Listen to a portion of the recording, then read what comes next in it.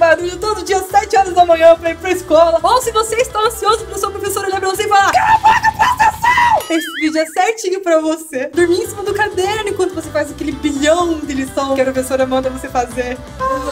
O lanche é uma coisa realmente muito boa. Bons tempos. No vídeo de hoje vocês vão encontrar muitas ideias legais, criativas, fofinhas que os seus amigos vão olhar e falar Sim,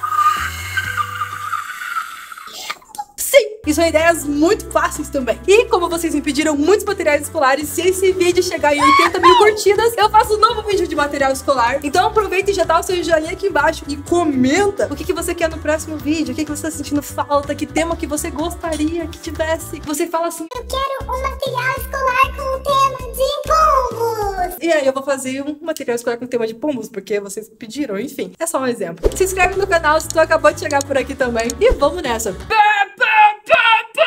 Eu não sei o alarme de quem que é assim, né?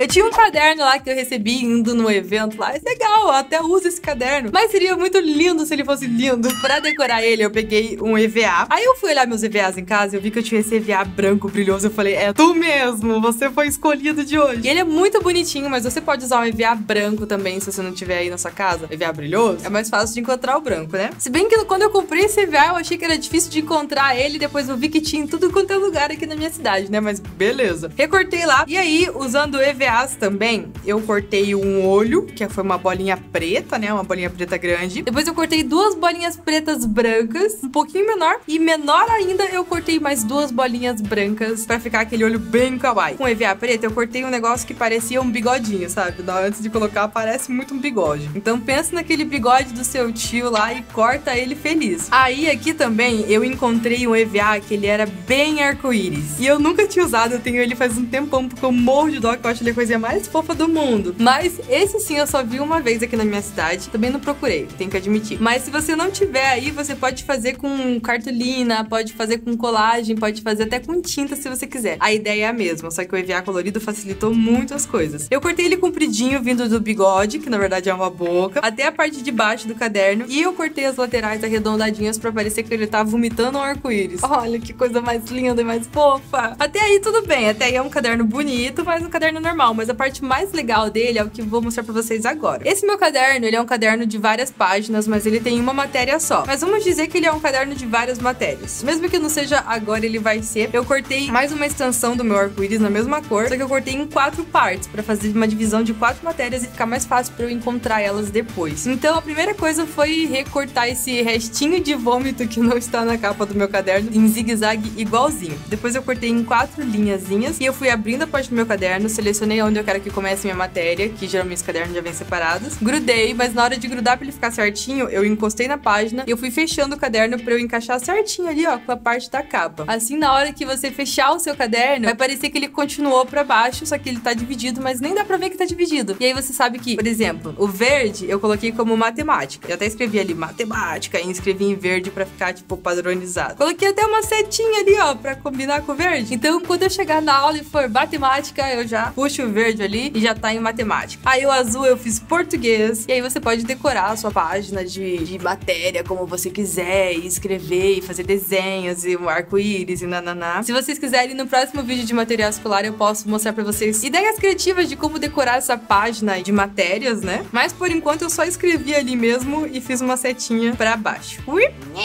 E assim ficou muito fofo. Eu acho que eu fiz esse caderno aí, ok, em dois minutos. Foi o tempo de cortar e recortar e ficou uma capa bonita e limpa. E eu gostei muito, fiquei muito orgulhosa. E palmas! Se você fizer esse caderno, coloca no Instagram, se for postar, me marca, que eu tô sempre de olho, vou ficar muito orgulhosa, felizona, assim, falar, meu Deus! Ah!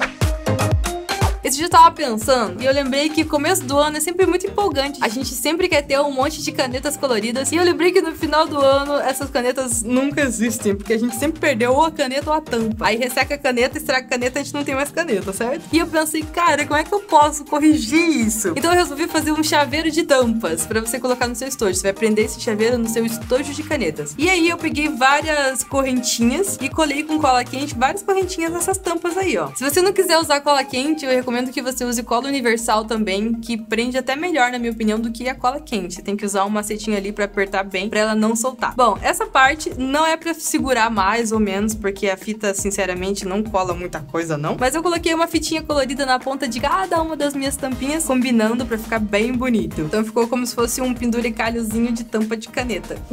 ok? Peguei todas as minhas tampas. Todas as minhas tampas estão com as correntinhas. Todas elas estão enfitadinhas. Agora, em cada uma dessas correntes, eu vou colocar uma argolinha. Pra eu prender essa argolinha numa daquelas rodelinhas de chaveiro. Primeiro eu prendo uma correntinha na outra, vai ficar esse cacho de uvas. E eu vou pendurar todas essas correntes numa daquelas bolinhas de chaveiro, sabe? Foi isso que eu fiz, usando um alicate. É uma ideia bem simples. Esse material escolar vai durar muito mais Nessa hora eu pensei, oh meu Deus, eu disse que eu estava bem, logo em seguida dela. Não, mentira, não pensei isso não. Eu pensei, oh meu Deus, o que eu vou fazer? Aí eu fui olhar meus tecidos e vi que eu tinha um tecido peluciadinho verde. Eu falei, oh, por que, que eu comprei esse tecido? Não entendi, mas eu tenho aqui. Então eu vou fazer um estojo de monstro. Sim, e vai ser um estojo muito fácil e prático, que ele é bem maluco. Então, primeiro eu peguei um zíper, desse zíper bem grosso. Se você não tiver, não tem problema, mas ele faz parte da decoração do nosso estojo. Ele é bem grosso, tem os dentinhos assim, ó, bem marcadinhos. E ele é branco, porque essa parte vai ser a boca do nosso monstro. E a hora que você abrir o zíper, você tá botando o seu monstro para sorrir. Ah, isso foi tão filosófico, né? Então eu comecei colando ali com cola universal no zíper. E aí eu pensei assim, cara, se eu colei ele assim, como é que eu vou colar a parte da lateral? Eu deveria ter começado pela parte da lateral. Eu deveria sim. Bom, então vamos corrigir. Ai, derruba essa programação direto de um outro vídeo, de um vídeo do futuro. Vou perguntar pra você se você já fez parte do meu clube. Quando a gente pode ter um contato muito mais próximo, conversar cara a cara, fazer